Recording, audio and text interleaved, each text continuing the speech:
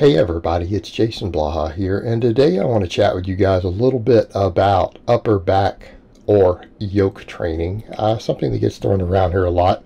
Guys talk about that on YouTube, a yoke, without fully always understanding what it is that they are looking for, because a lot of times guys are saying that and they're thinking of just the traps, and yes, the traps are an enormous part of your upper back. They're a very critical part of your upper back, and the traps include three different parts. Arguably, some physiologists say four, by the way.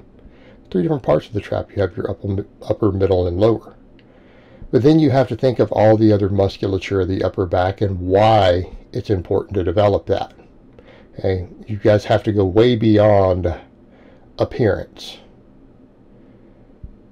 And am I saying it doesn't affect appearance? Of course it does. When you see a guy with a big upper back, you know in your mind. If you lift it all, you look at that guy and you're like, that's a strong dude. And it doesn't matter what they compete in. It doesn't matter if they're a lean guy with abs and, and good biceps. It doesn't matter if they're a heavier guy who's clearly a strength athlete or a power lifter or whatever else it is that they do. You can look at that guy and say, hey, that's a strong guy. Right? When you see a guy with a big upper back you know that that guy doesn't deadlift only 450. Okay? You know that. You know that guy doesn't have only a 185 overhead press. those are all okay. Those are good strength standards to aim for. But you see that guy and you know, no, no, that dude with the big traps and the rear delts. And when I say traps, I see traps that run down the whole back especially with the rear delts and a, and a good shoulder girdle to go with it, you know he's strong. Every single time. There is no doubt in your mind. And you know it. Therefore, it's a look a lot of guys desire because they realize, no, no, no, it's not just going to be about looking pretty. I'm going to look strong. And I'm going to be strong. And that's one of the things that you see also is that it is a strength deficiency if you don't have a big upper back. And you see a lot of guys out there who have lats. I mean, I get this with clients who come to me. See a guy with big lats and no upper back, decent biceps. You know that guy's done lots of chin-ups and pull-ups. Now, is there anything wrong with chin-ups and pull-ups? No, they're good exercises. I happen to like them. I think they bring a lot to the table. Right? Good, good exercise, guys. I mean, it's a big movement, works a very large percentage of the upper body, moves your, moves your body through space.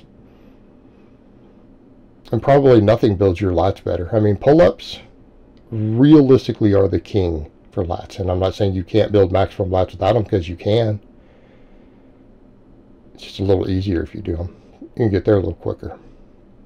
So, so yeah, they're about as good as it gets. Probably the best lat exercise in existence. But you see that guy and you know he's probably good at pull-ups. But when he has no upper back, you also know he's weak at everything else. You know when you look at that guy, he can't lift shit. You know it, and he can't lift shit. He can't do the big barbell exercises. You know he sucks at deadlifts probably at bench. Not always. Good chance. He better have some serious pecs. If he's going to be good at bench with no upper back. You know he probably sucks at squats and he has a taco squat where he folds over when he gets heavy. And you know his strict press sucks. Because he can't follow through. Right? He, he, he's, that's the guy who hits that sticking point right above his head when the weight gets remotely heavy and he can't follow through with it. We know that. You know that when you look at him. Size equals strength. You can tell where people are strong. So we also know that that guy is predisposed to shoulder impingement, by the way. The other thing I point out, muscle imbalances cause number one, mobility problems, number two, predispose you to injury. That is a muscle imbalance. You got big lats and no upper back, that's an imbalance means you didn't balance your vertical and horizontal pulling. So let's talk about building an upper back. Because if you had to pick one versus the other, the upper back's more important from a strength and injury perspective. if you had to be biased in one direction. Now, in a perfect world, you'd be balanced. It's better to be balanced. But if you had to be biased, upper back is better. So what all am I doing here? I'm doing a bunch of snatch grip lifts. Why are we doing these? Upper back, rear delts, traps. You know, and I had someone ask me uh, in one of my vlogs, hey, why are you doing the snatch grip deadlifts instead of RDLs? Couldn't you, if you just want upper back? Because we're not doing any of this stuff for just upper back. Why would we be doing these big movements if we only cared about the upper back? I could just do these rows. But we want other things. Snatch grip deadlift makes you really good at pulling from the floor. Because it builds other muscles. It builds all the muscles of the deadlift, but it takes you to a deeper joint angle. Right, a snatch grip deficit, a snatch grip deadlift is a deep deficit deadlift, so you get the benefits of deficit pulling.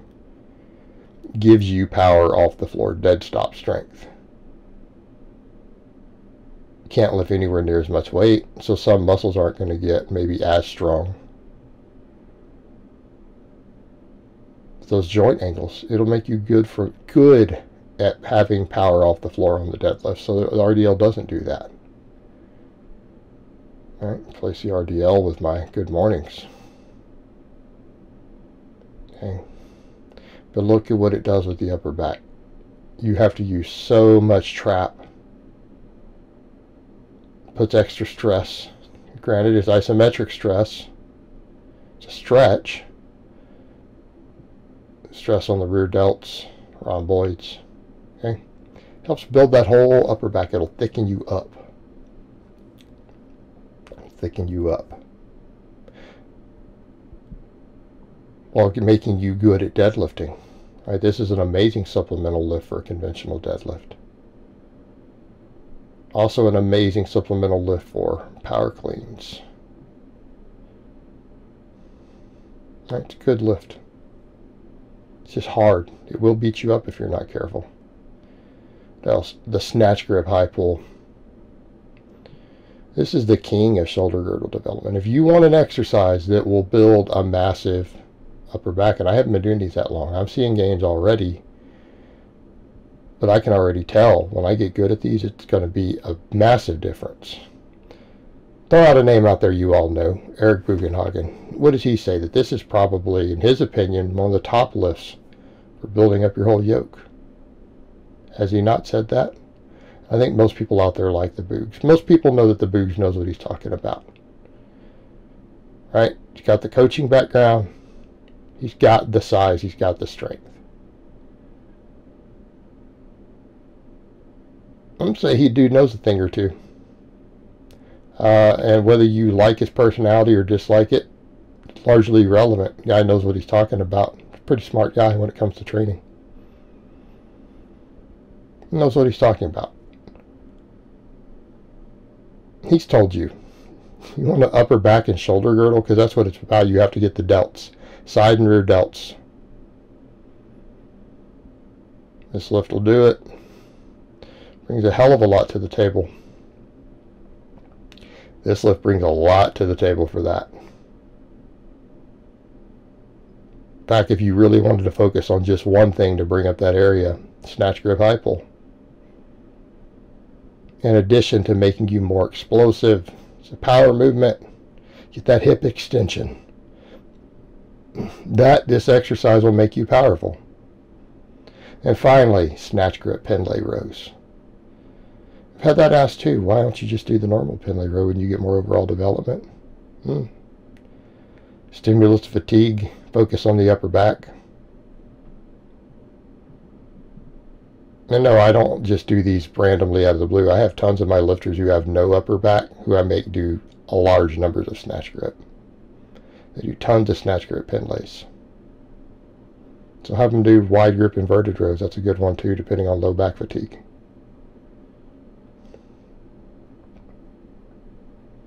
gets the job done. Does it very, very well. In, let's talk about a rear delt developer. Snatch grip rows, strict snatch grip rows. That'll build your rear delts up. Obviously it builds the whole upper back. But again, if you really need to hammer the posterior deltoid, That'll do it. And I'm not saying we can't do band work. I'm not saying band pull aparts and face pulls and stuff don't do that. In fact, band pull aparts done correctly are phenomenal rear delt exercise. But if we're trying to build everything, again with a nice big explosive movement, slide grip rows, snatch grip rows. And I don't like to call them Pendlay rows because to me the Pendlay row is a row. That is a classic row. We should call other types of rows bodybuilder rows and the Pendlay row is just the row. It's the, it's the original version of the lift. There you have it guys. It's how we get a yoke.